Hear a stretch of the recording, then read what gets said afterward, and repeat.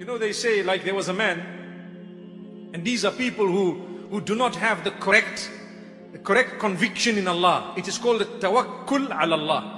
To have this conviction and trust in Allah that He will help you. So there were people in on an island, and the island they were, you know, lost in that island. And what happened is, the helicopter comes, and it comes, it finds them, and there were four or five of them. So they decide, hey, help has come finally. And now they jump onto this helicopter besides one man. And he says, no, I'm waiting for the help of Allah.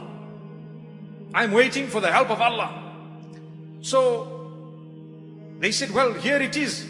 What are you talking about? The helicopters come. No, I want the help of Allah. So the helicopter went and this man, he, whatever happened to him happened. And it is reported that, you know what? Later on when they rescued him and they asked him a question, that why is it that you did not jump onto that, the first helicopter that had come?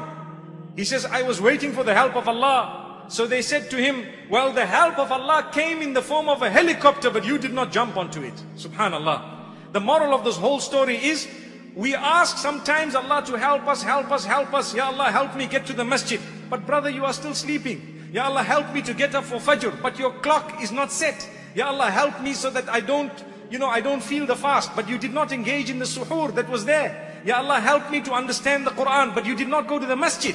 Ya Allah, help me to read the Quran beautifully, but you don't even listen and you don't even make an effort. The moral of the story is make an effort and ask Allah's help and that is when you will be able to achieve the help of Allah. The hadith of Muhammad sallallahu alaihi wasallam, he says, "Ista'in billahi wa ta'jaz." ihris ala ma yanfa'uka wasta'in billah wa la ta'jaz. Work hard towards achieving what is beneficial for you. Seek the help of Allah and do not be lazy. That sums it all up. Subhanallah. You want to learn the Quran? Work hard towards it. Ask the help of Allah. Do not be lazy. Without those three things, you are not going to be able to learn the Quran.